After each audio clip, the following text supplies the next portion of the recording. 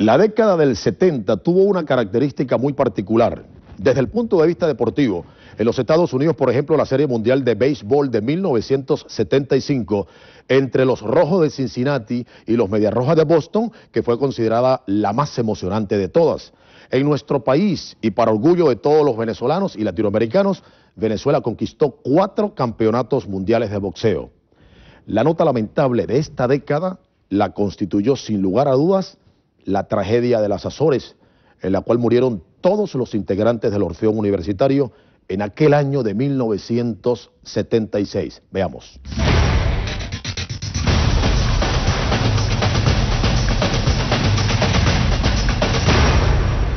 En 1970, nuestro noticiero dio amplia cobertura a los combates ganados por Vicente Paul Rondón, Antonio Gómez, Alfredo Marcano y Betulio González con los cuales se convirtieron en monarcas mundiales en diferentes categorías del boxeo durante ese mismo año. El 19 de octubre de 1971, Venezuela perdió a uno de sus toreros más importantes en toda la historia, César Girón, quien murió durante un accidente de tránsito ocurrido en la autopista regional del centro. Únicamente al año siguiente, otro suceso conmovió a los venezolanos y latinoamericanos.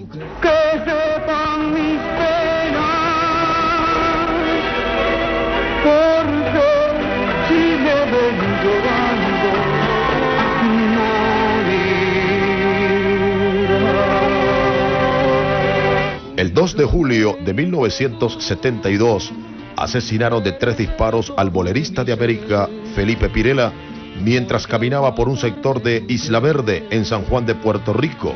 Para el momento de su muerte, Felipe Pirela tenía solo 31 años de edad y gozaba de gran popularidad en todo el Caribe y Suramérica.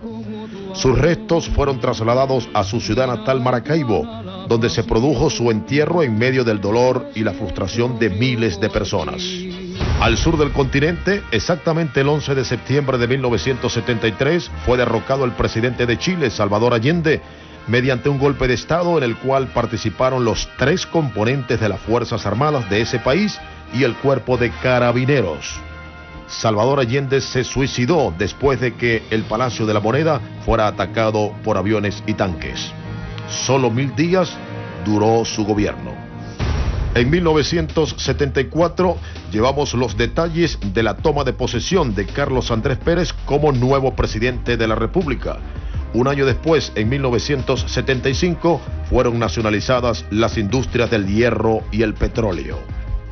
Pero una de las tragedias más sentidas en nuestro país la constituyó sin lugar a dudas la muerte trágica de todos los integrantes del Orfeón Universitario el 3 de septiembre de 1976 en la pista de Lajes, en Texeira, una de las islas Azores.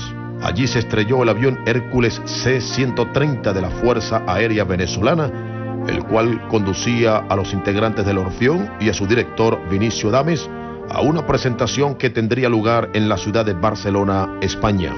Como si esto fuera poco, el 16 de marzo de 1978 murió también trágicamente uno de los hombres más importantes de la televisión venezolana, Renio Tolina, mientras viajaba a una reunión de empresarios que se realizaría en Porlamar, en la isla de Margarita. La avioneta Cessna 310, en la cual viajaban tres personas más, se estrelló en las inmediaciones del pico Naiguatá, fue después de una semana de intensa búsqueda cuando las autoridades localizaron los cuatro cadáveres, entre los cuales estaba el de Renio Tolina. En otro despliegue informativo con nuestras cámaras y nuestros reporteros, el noticiero Venevisión llevó los detalles de la elección del doctor Luis Herrera Campins como nuevo presidente de la República en diciembre de 1978. En la próxima parte recordaremos la década de los 80 con el sabor del merengue y los dos atentados más famosos de la época.